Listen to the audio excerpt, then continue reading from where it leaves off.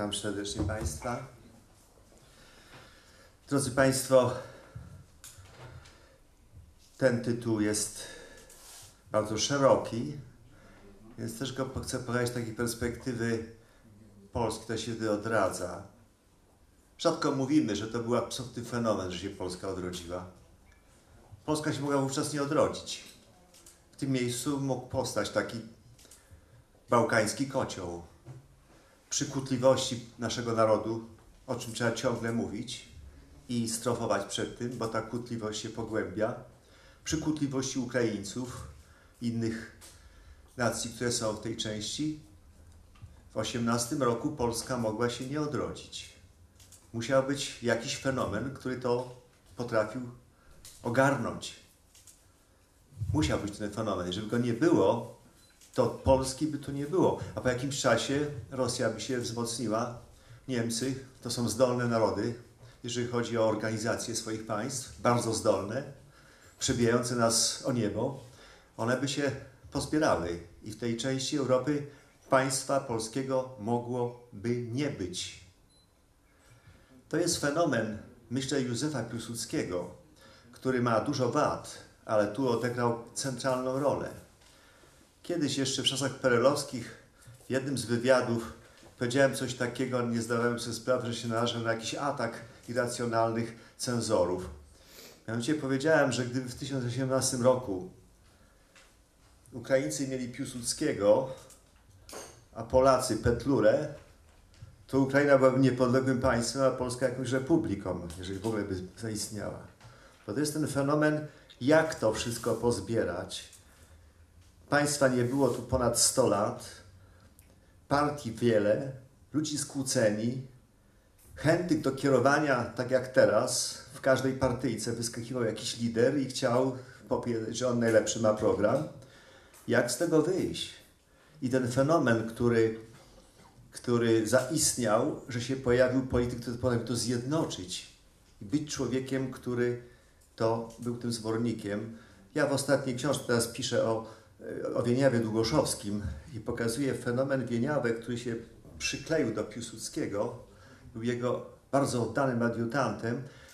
On, który był lekarzem z zawodu, a później chciał być artystą i studiował malarstwo i w Berlinie, i w Paryżu, przypadkowo poszedł na spotkanie, kiedy Piłsudski przyjechał do, do ym, Paryża w jakimś takim konwentyklu 20-30 osób było tam i on powiedział rzecz, która wtedy spowodowała, że ten Wieniawa się tego przykleił i do końca był przy marszałku. Co powiedział wtedy Piłsudski, który był mężem stanu, wizjonerem, bo to jest kwestia mąż stanu, to jest człowiek, który widzi 50 lat do przodu, a nie jak mu sondaż podskoczy. On powiedział, że w tej wojnie, która wisi w powietrzu, a to było dwa miesiące przed wybuchem I wojny światowej, Zwycięstwo się potoczy z zachodu na wschód. W pierwszej fazie wojny Niemcy i Austria pokonają Rosję, a później Francja i Anglia pokonają Niemcy i Austrię. I my nie możemy iść do tej wojny na wszystkich, tak jak to robił Kościuszko czy inni. Nie możemy. W pierwszej fazie będziemy szli z Niemcami i Austriakami, ale w pewnym momencie się musimy zorientować, żeby ich zostawić i przestawić się. I to jest ten fenomen męża stanu. Gdyby Piłsudski nie zrobił tej wolty, kryzys przysięgowy słynny, i stał się nagle więźniem Niemców, to wyszedłby z wojny jako przegrany polityk, jako germanofil. Bo popierał Niemców i Austriaków. Nie miałby szans na to. A to jest inny wariant, który już nie chcą. Więc mówię tylko ten wariant, że Polska się mogła nie odrodzić. Gdyby nie było człowieka, który by to połączył, te wszystkie siły, bo tu Daszyński chce władzę, tu Witos chce, tu, tu, tu Dmowski, tu wszyscy się rzucają, tu komuniści się pojawiają. Ludzie nie wiedzą, po której stronie, a najważniejsze, że nie wiadomo, gdzie granica ma być. Państwo się odradza i nie wiesz, gdzie ma być granica. Na jakiej rzece ma być granica? Na Bugu, na Choryniu, na Zbruczu, na Dniestrze? Jakie miasta mają być w tym państwie?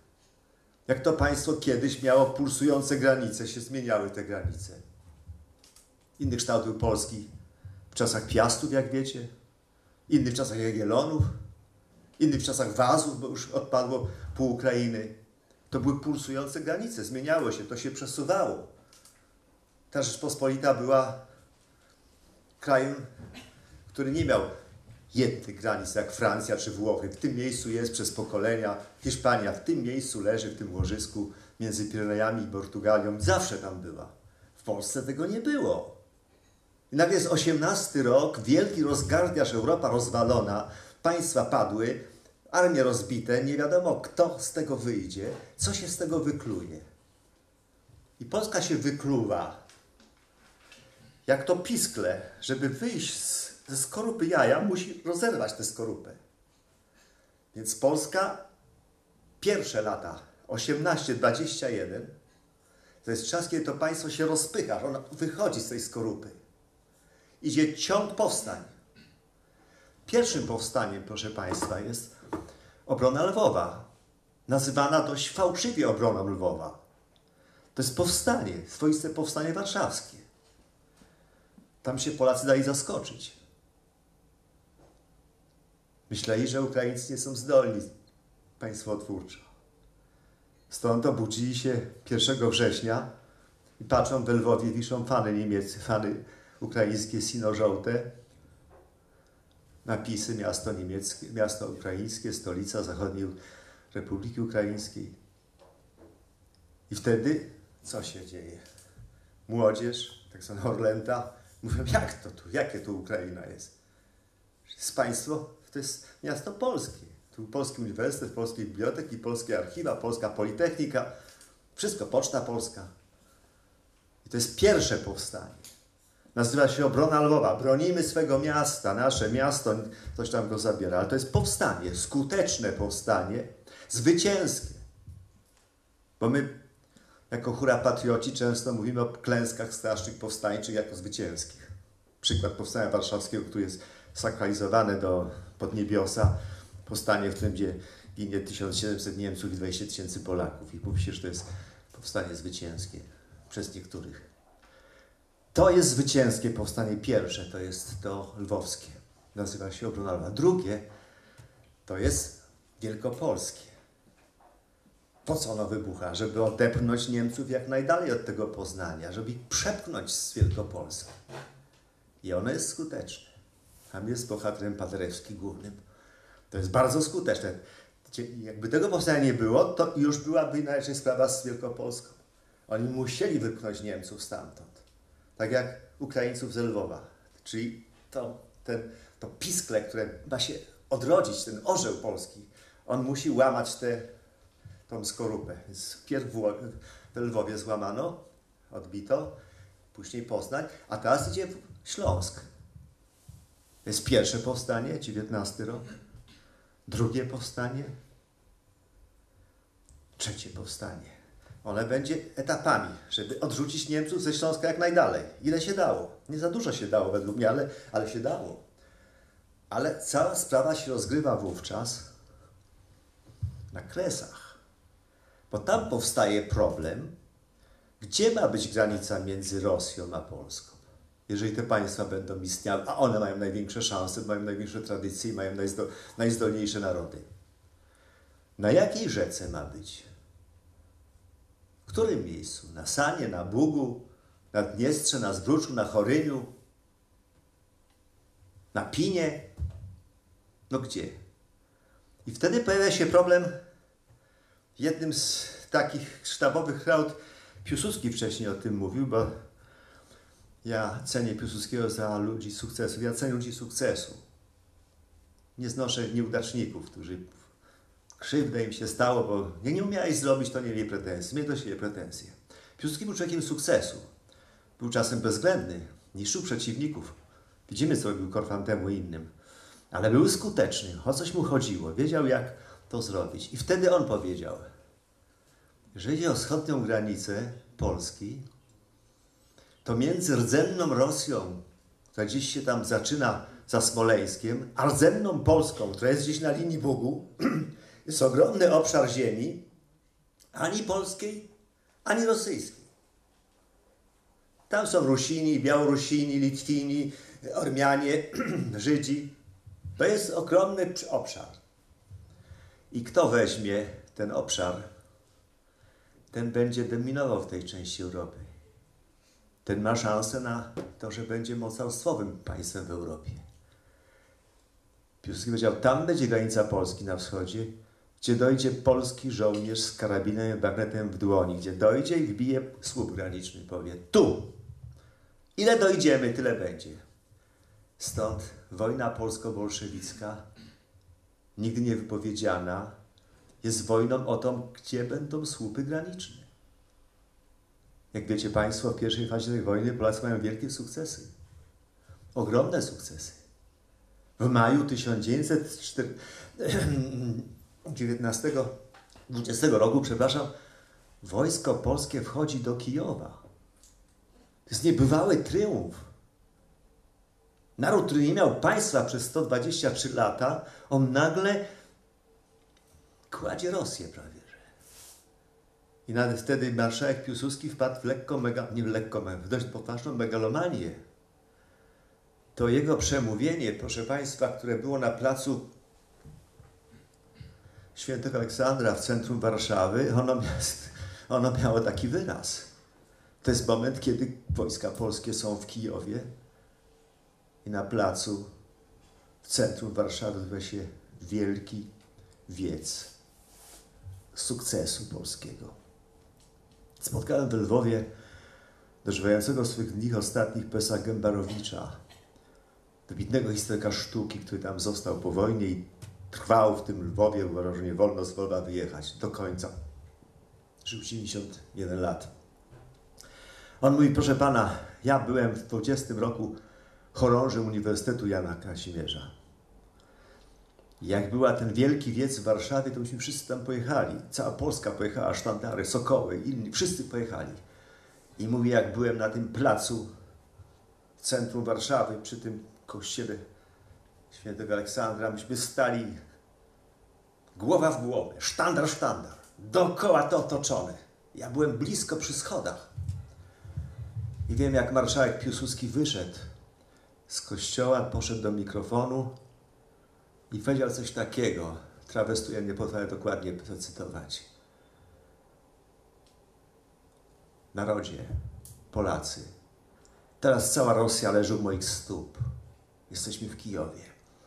I jak będę chciał, to nacisnę na tego gada, on się już nie podniesie. I Gębarowicz mówi, stałem z tym sztandarem Uniwersytetu Jana Kazimierza przy piersi, przy sercu i zadrżałem. Pomyślałem, oj, czy marszałek nie znał Rosji? Już nadepnąłeś? Wpadł w megalomanię. I stało się. Kilka dni później już się zaczyna kontrofensywa, tak bardzo chytra, sprawna, bo mieli, oni dowódców mieli. Rosjanie mieli zawsze dobrych dowódców zawsze dobrych polityków, zawsze dobrych dyplomatów. To jest ich wielka sprawa, bo my mamy wiecie, jakich dyplomatów. Jak Bartoszewski szybciej mówi niż myśli i tak dalej. To jest zawsze to nieszczęście. Polityk ma, dyplomata ma mówić, wolno myśleć, a nie biegać codziennie po stacjach telewizyjnych i mówić, co on zrobi. Rosjanie to mieli, dlatego poszli wtedy z tym Tuchaczewskim i myśmy się cofać z tego Kijowa bardzo szybko. Dramat był bliski, że mogliśmy wtedy przegrać wszystko. Bitwa Warszawska to była przynajmniej wszystko byśmy przegrali. To było to niebezpieczeństwo zaryzykowania i wpadnięcia w megalomanię, która się Polakom często zdarza przy sukcesie. W każdym razie kończy się to dobrze, bo bitwę warszawską wygrywamy. Ten manewr jest genialny. Rosjanie dostają cios potężny. Później jeszcze nad Niemnem druga bitwa. I zaczyna się w Rydze rozmowa, gdzie ma być granica, właśnie o to, gdzie ta granica ma być. My tam mamy naprawdę duże atuty. Myśmy tą Rygę w dużej mierze teraz, kiedy było stulecie obchody traktatu ryskiego, w pewnej mierze przegrali. Można było więcej wziąć.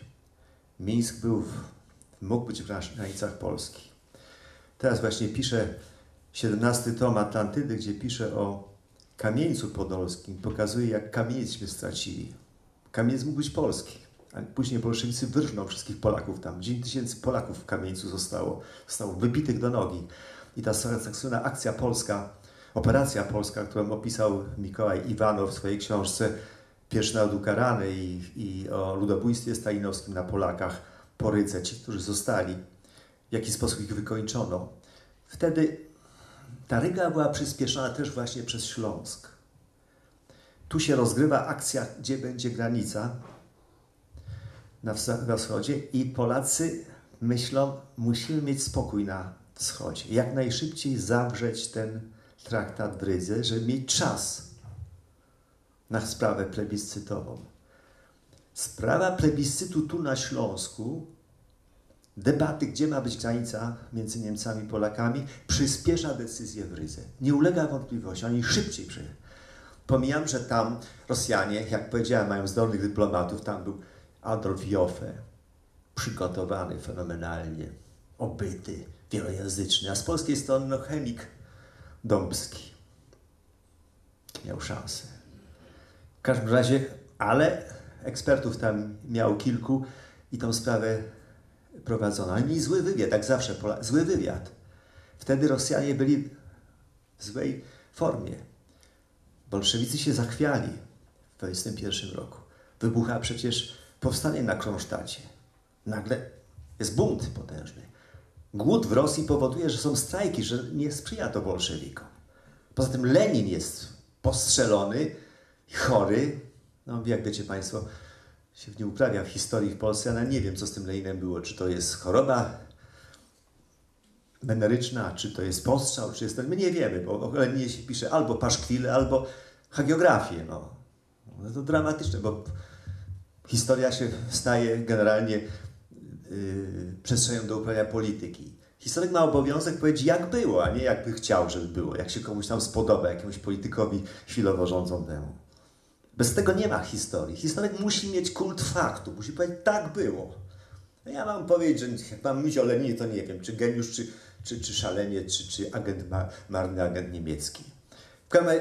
To był moment, kiedy Rosja się łamie. Joffe dostaje polecenie. Jak najszybciej z tymi Polakami podpisz ten układ. I wtedy oni za szybko podpisali. Jeszcze trochę potrzymali. To mógł być kamieniec, a przede wszystkim mógł być Mińsk białoruski. Półtora miliona Polaków tam zostało. To była sprawa Mińsk był w dużej mierze spolonizowanym miastem. Wtedy endecy odegrali nie najlepszą rolę, bo oni mówią, nie możemy wchłonąć te, takiej grupy prawosławnych, bo jak stworzymy państwo polskie? Rozsadzi to nas. Tu prawosławi, tu katolicy, tu Żydzi, tu Polacy. Nie, nie idźmy tak daleko. Więc w zasadzie to, co się stało w Rydze, że my oddajemy Mińsk, oddajemy Kamieniec Podolski, robimy tą granicę właśnie na linii Zbrucza i Dniestru. I szybko to robimy. W marcu to robimy, w 2021 roku, po to, żeby tu skoncentrować swoje siły na Śląsku. Wiemy to, co profesor Woźniczka powiedział, to była perła. Śląsk dla Polski jest ciągle niedoceniany. Warszawa niewiele to o tym Śląsku dalej wie, a my za mało jesteśmy ostrzy w, próbach mówienia o tej prowincji śląskiej. Śląsk jest bardzo ważna rzecz dla, ziemia dla Polski. Fundamentalna, absolutnie. Polska byłaby inna zupełnie gdyby Śląska. Tak samo jak powojenny Dolny Śląsk. Gdyby on nie wszedł w skład PRL-u, bylibyśmy marnym państewkiem, byliśmy księstwem warszawskim. To, co część nie rozumie, profesor Zdzisław Mach z Uniwersytetu Jagiellońskiego który wygłasza takie teksty, że niepotrzebnie Polacy usunęli tych białorów, bauerów niemieckich ze Śląska Dolnego. No, gdyby nie usunęli, to niby tych Polaków nauczyli kultury, uprawiania ziemi, kanalizacji i tak dalej. Głosi takie teorie, takie Nurfirdeutsch. Polska nie chciała takich miast jak Legnica czy Świdnica. Mi się to w głowie nie mieści, ale, ale tak potrafią głosić ludzie, którzy nie mają pojęcia, jak silny potencjał jest tu na Śląsku materialny, kulturowy. Przecież siła państwa polega na silnej kulturze materialnej, nie tylko duchowej. Można pisać piękne wiersze i się wzruszać nad nimi. ale musisz mieć fundament, żeby to realizować. I co pokazuje w swoich książkach, w tej ostatniej, jak pisze o Wieniawie Długoszowskim, człowieku oddanym Piłsudskiemu, to cytuję książki o Wieniawie napisane przez Majchrowskiego czy przez Urbanka, duże książki. To co oni tam piszą? Że ojciec Wieniawy był powstaniec śląski, powstaniec e, styczniowy, był w powstaniu. A to, że później po tym powstaniu stworzył cementownię w Ełdzirzu, produkował tam cement portlandzki, jeden z najlepszych w Europie, porównywany z niemieckim Opel, to już tego nie wymienia. A bez tego nie byłoby Wieniawy Długoszewskiego. Jakby poszedł do powstania, ucho mu odstrzelono i co by cierpiał, trzeba było to dziecko wykształcić. Trzeba go wysłać na studia medyczne do Lwowa i na studia artystyczne do, do, do Musisz mieć fundament, żeby dzieci kształcić. Stąd ja mam ten kult pracy organicznej, pracy fundamentalnej. Bez tego nie istniejesz, nie masz niezależności. Gdyby moich książek nie kupowali ludzie, ja nie mam żadnych dotacji, żadnych wspomagań, to bym nie istniał w ogóle, nie, nie mógłbym pisać, nie mógłbym tu teraz mówić w ogóle. Trzeba mieć podstawy. I Śląsk jest tą fundamentem absolutnym, on daje ten przemysł do podstaw. Dolny Śląsk, Wrocław, siła niesamowita. I wtedy się Polacy nastawiają na to, ale nie wszyscy to rozumieją. Piłsudski to słabo rozumiał. Jest pomoc z, z, kraju, ale nie na tym poziomie, na którym powinno. To rozumie Lwów i to chcę tu powiedzieć.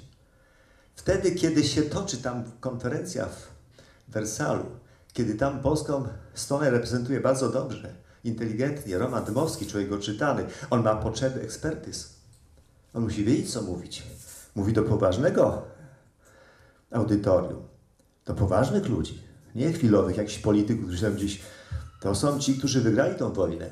I wtedy on korzysta z opracowań Eugeniusza Romera, wybitnego geografa z Uniwersytetu Lwowskiego, fantastycznego fachowca. Korzysta z ekspertyz, natrafiłem na to, z Eugeniusza Kwiatkowskiego, późniejszego jednego z wybitnych polityków gospodarczych polskich, co, co Polska straci, jeżeli granica będzie bardziej korzystna dla Niemiec na, na, na zachodzie, na Śląsku, w którym miejscu tą granicę. On daje Lwów i ośrodek lwowski, ośrodek naukowy daje argumenty stronie polskiej w czasie debaty w Wersalu. To, że oni tam forsują, że, e, że oni tam rozgrywają, bo przecież gdyby tam nie rozgrywali mądrze, to my byśmy mieli plebiscyt też w Galicji.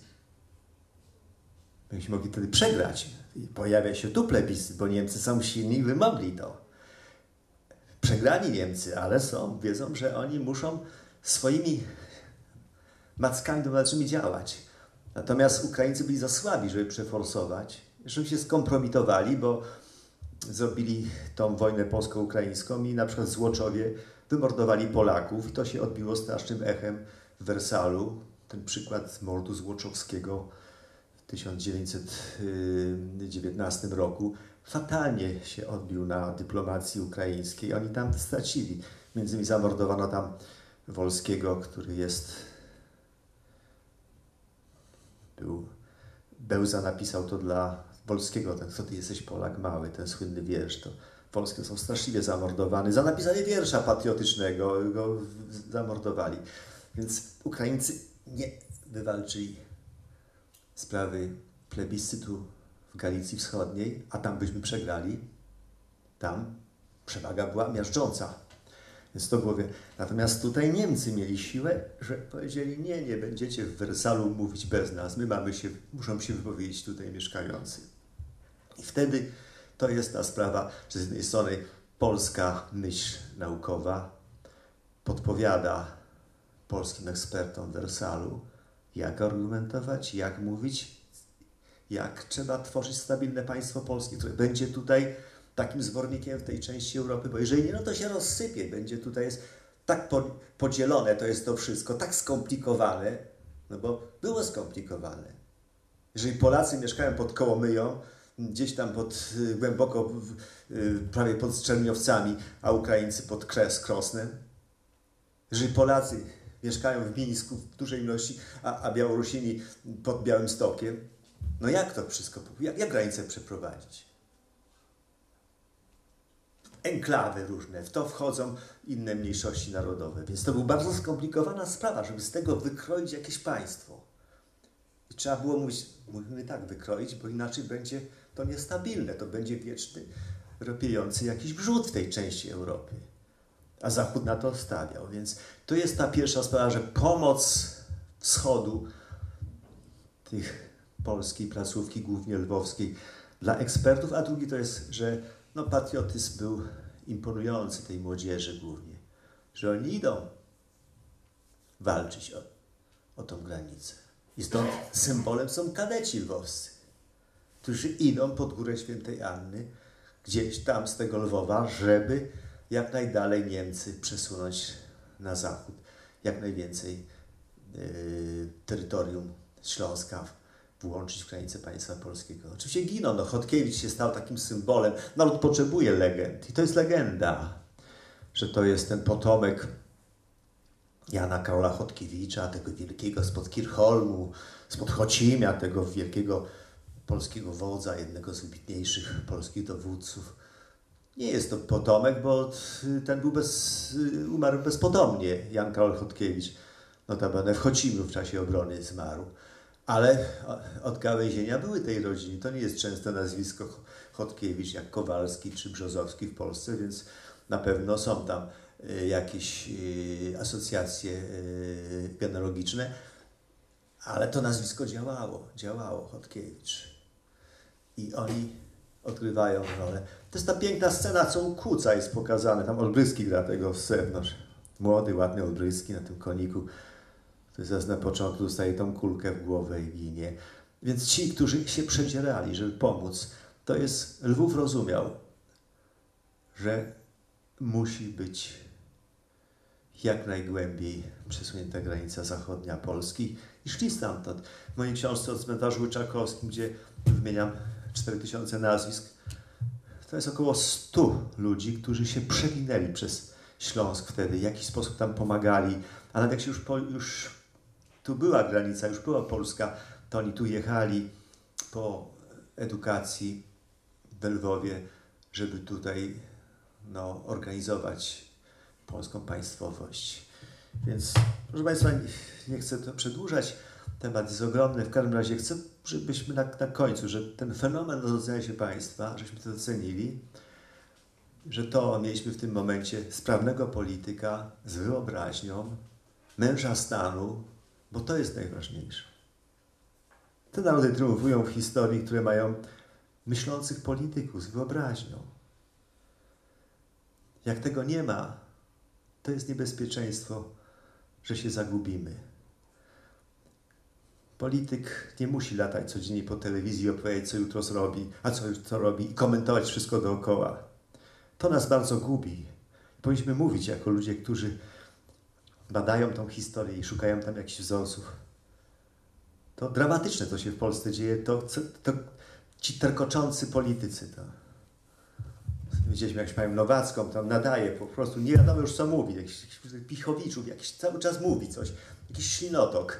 Tak się nie uprawia polityki. Tego nie wolno robić, bo się zmanieruje tylko naród. Nie wolno iść w kierunku błyskotliwości jednodniowej. Konsekwencja. Wyrachowanie argumentacja, mądra dyplomacja. Mądra dyplomacja, nie co się często dzieje. Zobaczmy, jak, jak Ławrow prowadzi. Żeby jego ograć, to trzeba mieć partnera, bo inaczej będą nas spychać. To jest ważne. Wtedy mieliśmy to. I ten fenomen odrodzenia powinniśmy jako przykład wynosić jak z niczego można było stworzyć armię, administrację, jak można było to ogarnąć, naród skłócony z, tym, z tą ilości partiami, że mógł się zorganizować i wywalczyć to, co wywalczył. A bez Śląska, to swoje profesor Woźniczka, byłby los to fatalny tego państwa. Bez tego przemysłu, bez tego zastrzyka. Przecież to był kraj pozbawiony przemysłu. Tą Gdynię trzeba było dopiero budować, ten co trzeba było dopiero budować. Śląsk już to zaplecze miał. I ceńmy to i mówmy to tu. Jednak bije serce Polski gospodarczej, a teraz też intelektualnej. 1918-21 to czas, kiedy Polska szuka swoich granic i szukała skutecznie. Wyszła z tej wojny o obszarze 379 tysięcy km2. Była 70 tysięcy kilometrów więcej niż Polska, w której dzisiaj żyjemy. Dziękuję Państwu za uwagę.